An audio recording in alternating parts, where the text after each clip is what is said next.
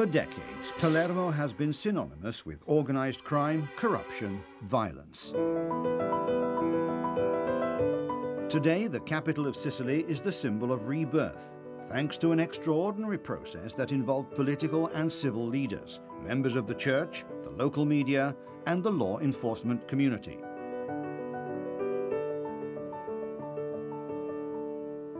This is a story that teaches some very interesting lessons on how civil society can react with success to violence and intimidation and improve the quality of life of the people in the region.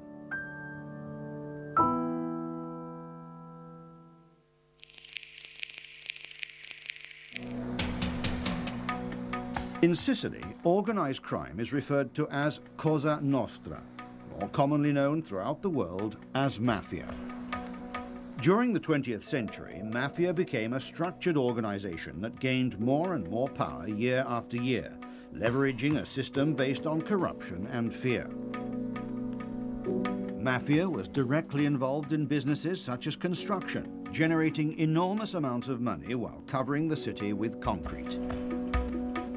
Corruption was the rule amongst local politicians, in such a way that nearly nothing even the most simple action could be obtained without paying bribes.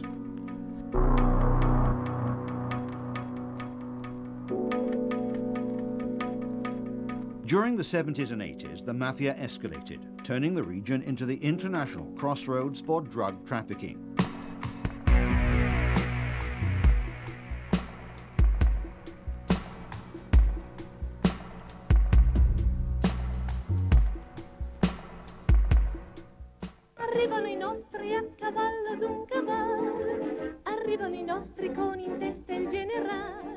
Organization deeply infiltrated the political institutions, placing their friends in all of the highest political positions, including mayor of Palermo and other towns. But it didn't stop with politicians.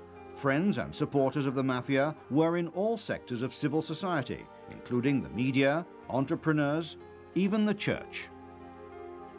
It wasn't unusual for criminal bosses to celebrate their weddings or baptize their children in the main churches of Palermo with ceremonies that involved the higher level of the local Catholic hierarchy. All this without any attack or coverage in the local media. In those years, thousands were killed on the streets of Palermo.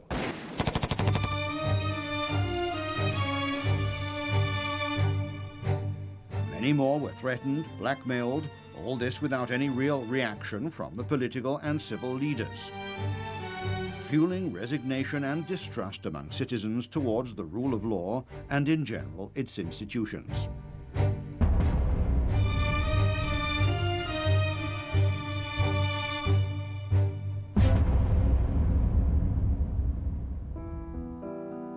But during the 80s, a new movement started to make its first steps.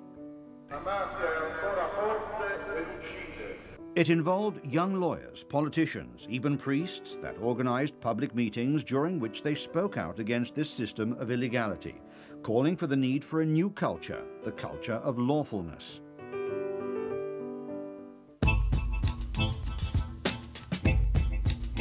Some priests started dedicating their social work in their neighborhoods to explaining to citizens that there was an alternative to fear and submission, receiving support also from the Cardinal of Palermo.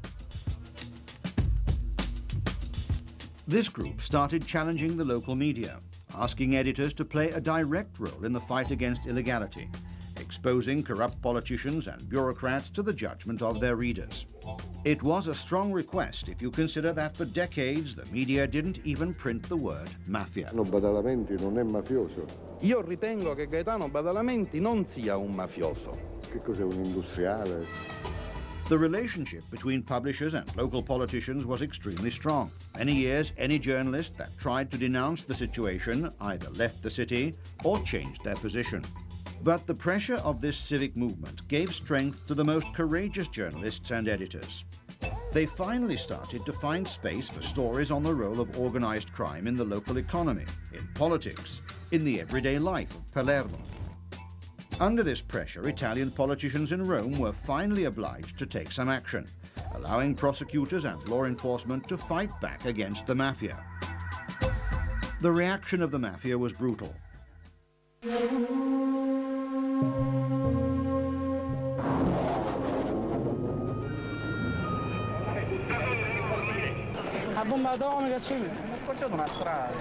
On May the 23rd, 1992, a bomb killed Judge Giovanni Falcone, along with his wife and three bodyguards. But the murder of one of the symbols of the struggle for the rule of law generated the opposite reaction than the mafia expected. Instead of fear, the citizens of Palermo embraced courage. They supported the leaders of the movement now known as anti-mafia with marches, vigils, and human chains. The local and national media dedicated constant coverage to this struggle, creating day after day even more support for the fight against illegality. Within a few weeks, the mafia struck again, trying to stop this process of rebirth and hope.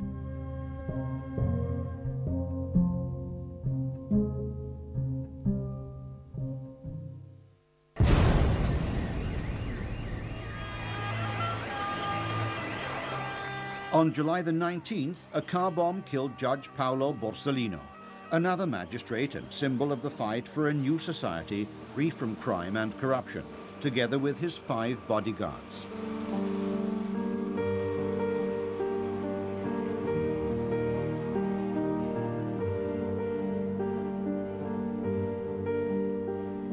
Public outrage after this attack was even greater all the centers of moral authority finally came together to fight this battle for freedom and democracy.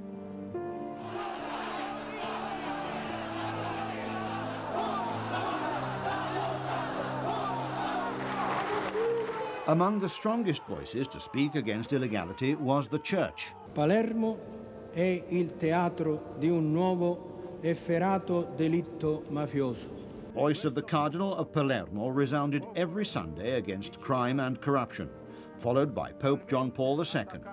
He decided to personally come to Sicily to say that anyone who is a member of organized crime was out of the family of God. And this message was reinforced by priests at the local level. Una volta verrà il giudizio di Dio. Under pressure from Sicilian and Italian citizens, the national parliament passed special laws, including the seizure of mafia-owned properties and the introduction of a tough prison regime for members of the organization. New witness protection programs were also created for members of the mafia who changed sides and decided to collaborate with the state. This helped investigators capture high-profile mafia leaders who had been on the run for decades.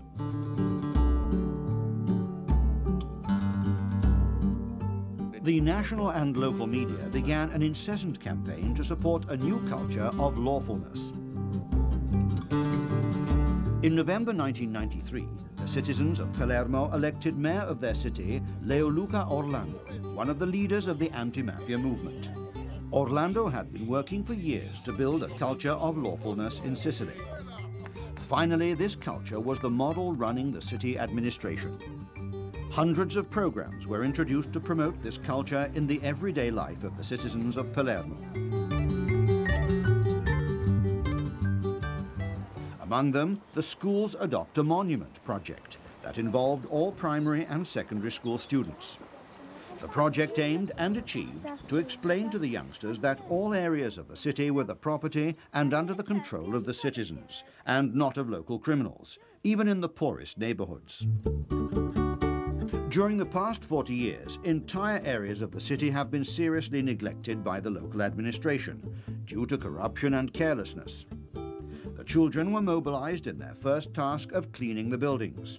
Their appeals, which were supported by the local press, convinced the owners of the buildings, both private and public, to restore the adopted monuments and reopen them to the public. Starting from the 1996 school year, the Giornale di Sicilia, the leading daily newspaper of Sicily, introduced the Cronaca in Classe project. Every day, the paper dedicated a full page to the schoolchildren, who could submit articles and letters about the main issues in their city. The paper was then handed out free in schools. The mayor personally answered all articles and letters written by the children. This project first encouraged civic debate amongst youngsters and their families, and then it had an extremely positive influence on the whole community, showing that relations with the city administration could be transparent and direct, without the need of corruption and special favors. This also had a very positive effect on the success of the newspaper. Daily sales increased. Some of the children became regular readers, and others started to think of careers in writing and journalism.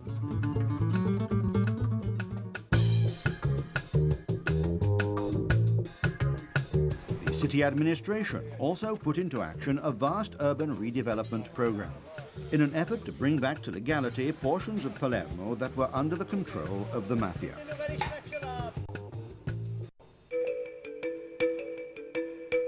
In the center of the town was one of the most terrible wounds inflicted by decades of bad administrations, the wonderful opera house Teatro Massimo. It had been closed for 23 years of renovation work useful only for corrupt politicians and their criminal friends to steal public money. In 1995, after only one year of real renovation work, the theatre was reopened and returned to the people of Palermo.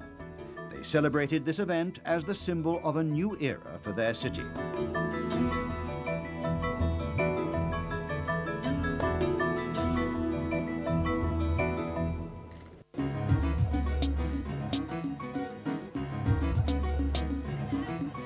A multifunctional structure to host seminars, exhibitions and shows called the Ziza Cultural Center was opened in a high-crime working-class area of the city, driving out drug dealers and their clients and bringing families instead.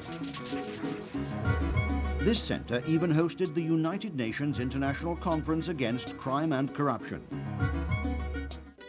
Finally, in the heart of the poorest part of the old city, the wonderful ancient church of Santa Maria dello Spasimo was restored. It was reopened after over 300 years of decay. This was the starting point for the regeneration of the whole area, another step in the direction of legality and freedom for the entire city.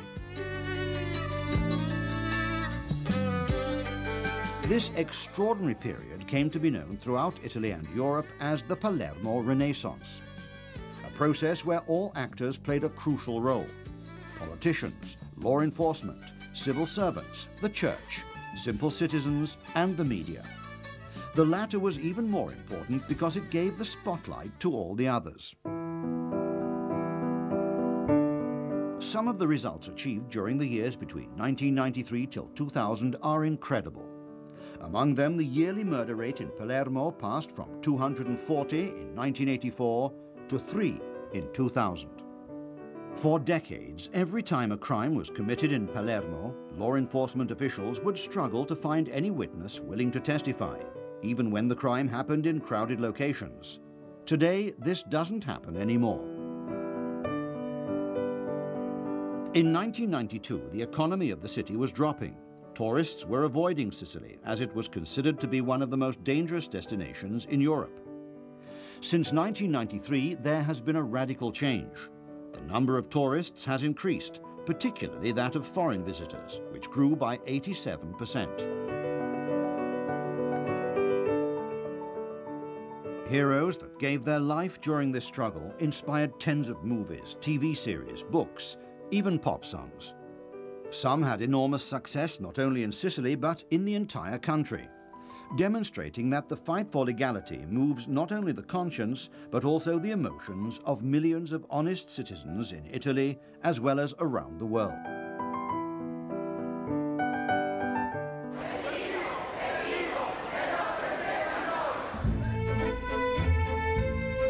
Organized crime is not defeated in Sicily. Corruption still takes place, and a long road must be followed before this plague is finally eradicated.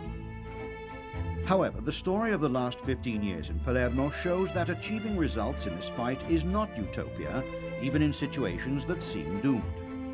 It provides concrete hope to anyone that believes that every citizen in any city of the world has the right to live in a city free from violence, corruption and intimidation.